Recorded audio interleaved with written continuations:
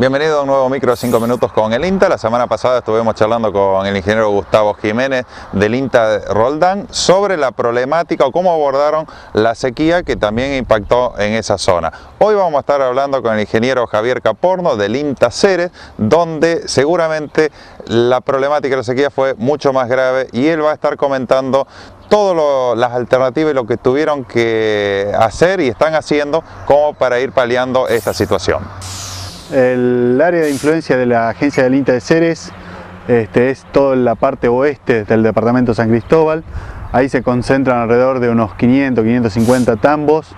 Este, es la parte más importante de lechería en el departamento San Cristóbal. Y bueno, digamos, estamos atravesando una situación realmente histórica en la región, es decir, desde que hay registro, desde el año 1917, que tenemos registro en la agencia, nunca este, se registró una, sequía tan prolongada como esta, es decir, nosotros desde el mes de febrero, que prácticamente no tenemos lluvias importantes, las lluvias acontecidas hasta, hasta hoy son 212 milímetros,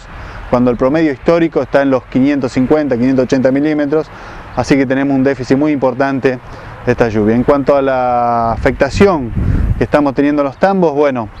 este, hay muchos tambos que ya terminaron sus reservas voluminosas, voluminosas silos, este, que por el momento eh, lo están solucionando trayendo este, prácticamente cañas de azúcar de Tucumán, de la zona de Tucumán, en el cual, bueno, este, lo están solucionando de esa forma. En cuanto a los niveles de producción, hay cooperativas, hay regiones que realmente están muy comprometidas con una baja del 30 al 50% de la producción. Hay otras zonas que, si bien la producción no ha tenido una merma muy importante, pero se está sosteniendo a base de todo alimento traído este, desde afuera del establecimiento. Es decir, son muy pocos los tambos que por el momento tienen reserva, algunos le quedan por 15 o 20 días más reservas voluminosas y realmente están muy comprometidos en cuanto al, un poco al, cierre económico, de, puesto que bueno, todo el alimento que proviene se lo tiene que comprar, eso trae aparejado altos costos de, producción y este, hay tambos, digamos, tenemos casos de tambos que se han cerrado en zonas donde no solamente el problema es alimenticio, sino también hay problema de calidad de agua, en donde, bueno, este, muchos productores este, ya venían complicados, ya venían comprometidos, son en regiones este, que están al norte, eh, al nor, noroeste de, la ciudad de Ceres, y bueno, han tenido que cerrar sus, sus establecimientos. Esto un poco nos preocupa mucho porque este, sabemos que el tambo es un gran dinamizador de la economía de nuestros pueblos este, y bueno, con, todo este, con toda esta sequía, con, todo este,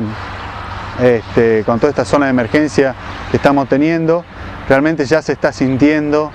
en lo que son los comercios, es decir, si uno va a cada uno de los pueblos,